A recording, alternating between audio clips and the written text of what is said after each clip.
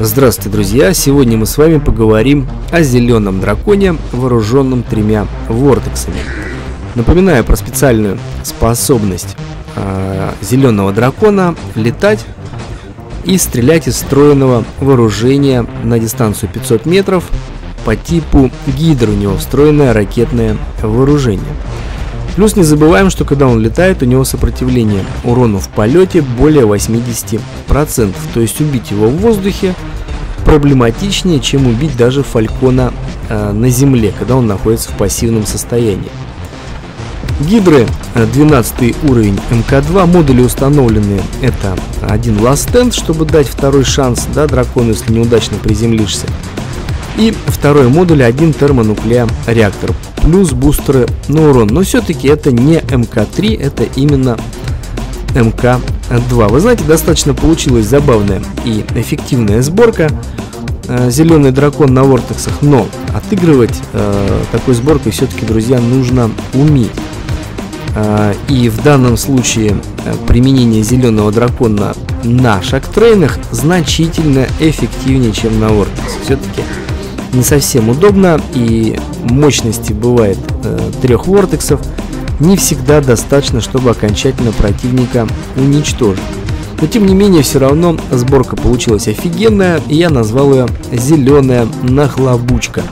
Потому что нахлобучивает она достаточно жестко, особенно если хорошо в момент взлета с вертикали запулить в противника вортексами – наносит достаточно огромный урон. На самом деле, Vortex одно из немногих оружий в игре, которое является, так скажем, критовым, да, а в некоторых случаях даже ваншотным, да, то есть может убить с одного залпа, с одного выстрела.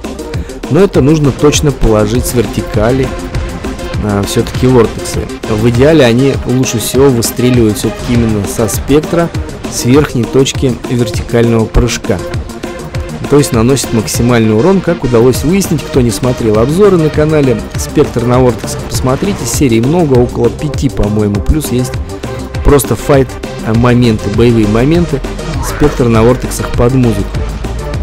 Кстати, сейчас красиво нахлобучили э, противника, э, прямое попадание было с Вортексов и сразу же добили со встроенного вооружения маленькими гидроракетками. Кстати, залетают эти э, ракетки за препятствия чуть ли не вертикально отвесно.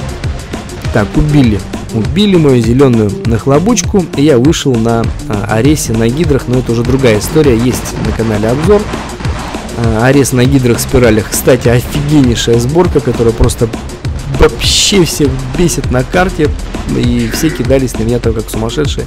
Посмотрите обзор, кто не смотрел, вам очень понравится. А мы переходим в следующий эпизод зеленой нахлобучки и будем сражаться сейчас на Dead City. Этот бой я вам покажу, а, собственно, до конца. И а, на этом мы закончим обзор. Все-таки сборка многим может показаться интересно, отыгрывать на ней можно. Но есть нюанс, она наиболее подходит именно для малых э, и средних карт. На большой карте сборка может оказаться недостаточно эффективной и два ареса Э, двоечка могут застанить в воздухе зеленого дракона и поочередно спецспособностью с плазменно встроенного вооружения Аресов сжигается он, несмотря на сопротивление урона даже в топе. Или, по крайней мере, добивается сразу после приземления, несмотря на ласты. После приземления зеленый дракон бьется э, с легкостью, так же, как обычный гриф. То есть у него никакого сопротивления урона нет. Тоже сейчас красиво отработали цель Прямое попадание было с вертикальной точки взлета вортексами и добили со встроенного вооружения. То есть, в принципе, эффективность нашей зеленой нахлобучки на лицо. Напоминаю, стрелять по целям с энергощитом нужно э, поочередно, да, то есть поочередное введение огня. Первые ракеты подлетающие снимают энергощит, и э, вторые, третья уже ракета подлетающая, соответственно, бьют в корпус робота, который ничем не защищен. Какой там борзый спектр. Очень борзый. Думаю, что надо будет им заняться. Сейчас я спасаю свою зеленую шкурку, прячусь от него. Спектр на скоржик достаточно наносит существенный урон. Даже на дистанции в 400 метров все-таки скоржик, тем более в МК-2, является оружием достаточно мощным. Ну и в особенности в умелых руках. попытался достать спектра, но он успел отпрыгнуть. Значит, он перемещается на левый фланг, и мы им сейчас займемся. Вот сейчас, смотрите, друзья, не совершайте такой ошибки, какую сейчас совершил я, абсолютно случайно нажав э, на особенность дракона в момент его полета, то есть я прекратил способность принудительным нажатием, и сделал я это абсолютно случайно, играю на планшете, те, кто играет на платформе Steam или Game Room на компьютере, э, от такой оплошности защищены, потому что для этого нужно отдельно нажимать пробел. А здесь, э, я считаю, кнопочку надо бы, конечно, повыше сделать. Я очень часто бывает так нажимаю белым драконом случайно тоже падаю. Так, вот там борзый спектр уже на левом фланге. И хочется его, конечно, поскорее прибить. Пошли ракеты. Я не попал, но добивает его э, инквизитор. Красавчик. То есть это э, сборочка, друзья, зеленый дракон на вортексах для спокойной, выверенной игры. Вот хорошее прямое попадание сейчас прошло у нас по инвайдеру. Думаю, надо ему добавить.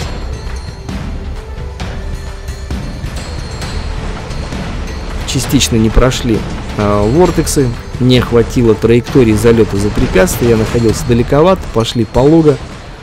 И когда цель в полете, например, в прыжке, инвайдер, да, то есть урон тоже незначительный, вортексы в этом плане летят медленно, да, может быть им все-таки скорости прибавить, было бы вообще бомба, мне кажется. Хотя, в принципе, и так достаточно критое, критовое и уроновое вооружение.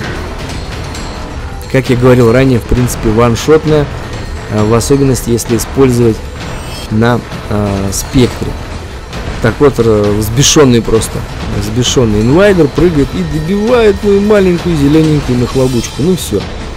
Я просто в бешенстве и думаю сейчас пойду в жесточайший ближний бой и добью э, всех, кого, собственно, встречу.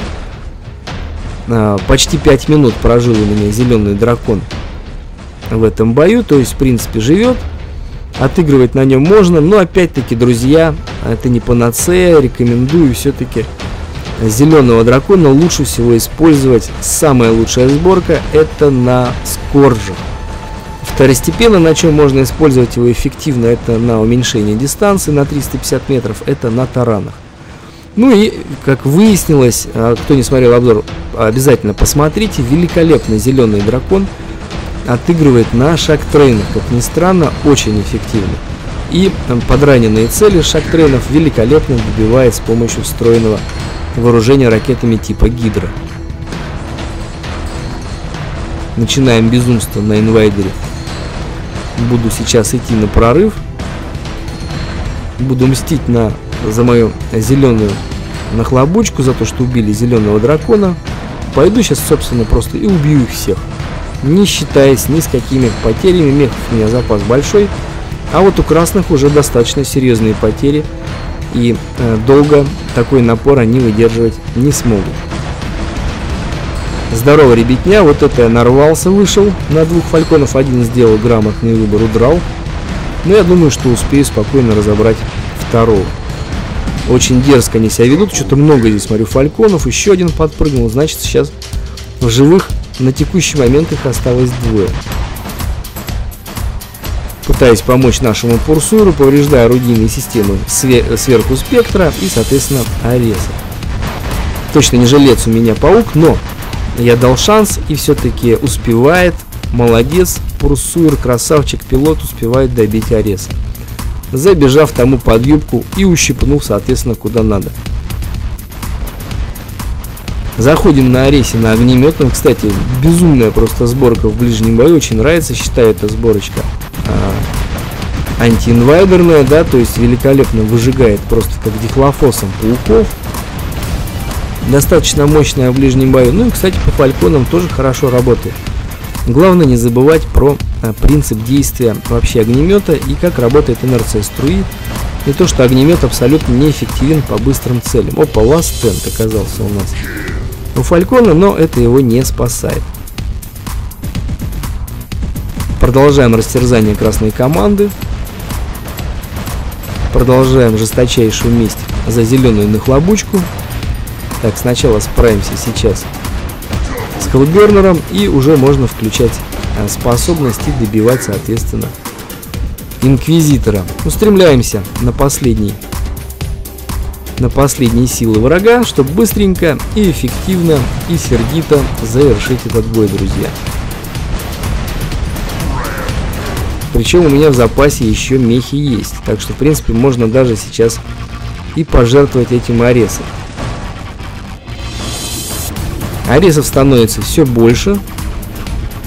Поэтому э, все способы борьбы, в принципе, с аресами у меня на канале показаны. Плюс, если что-то нахожу новое, то тоже обязательно, друзья, покажу и расскажу. Вот этот арес мне нравится, очень эффективен э, для борьбы со спектрами. Э, с быстрыми мехами, которые прячутся за препятствием, ожидают перезарядки способностей. И э, очень хорошо бьют аресов и роботов пантеона, которые ожидают перезарядки, прячутся за препятствием. В этом плане пины тулумбасы за счет сплэша отлично долбят за препятствием и поражают противника. Не тем зацепился абортик дурачок, да, таких не берут космонавты, все, хана хаечи. И забираем, опять забираем левофланговый. Маяк, да, в принципе, он уже особо не нужен. Но на всякий случай заберем, не помешает. Хана красной команде. Добиваем последних мехов. Способность сразу включаем, как только догорел до ластенда у нас арест. И убиваем последнего робота в этом бою. Его, собственно, все. Всем хорошего настроения, друзья. Ставим лайки, если вам понравился обзор. Стараюсь сделать для вас полезные подборки, полезные обзоры, чтобы они помогали вам в ваших боях. Всем удачи и хорошего настроения. С вами был Андрей.